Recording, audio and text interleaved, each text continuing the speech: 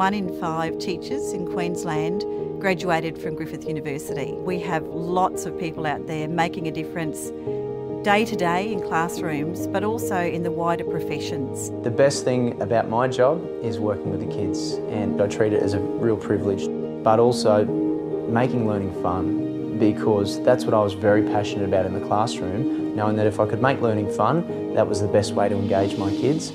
Had a little boy one day say to me, you know, are you open on a Saturday? You know, like it just it doesn't get better than that. Students who choose Griffith University School of Education tend to be people who are very passionate, committed to being educators of some kind, and they know that they're going to be working with the best academics in their area.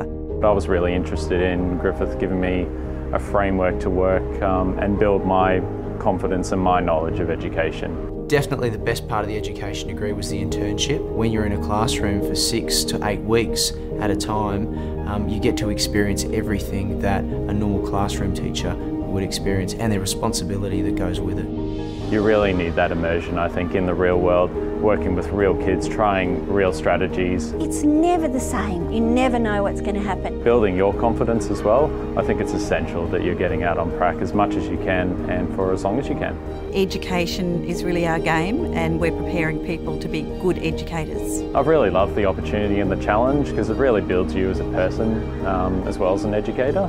You know, you can make your own fun, you know, and this is what this is. This is me making my own fun. Teachers will never be redundant. Uh, they're just more and more needed in this environment.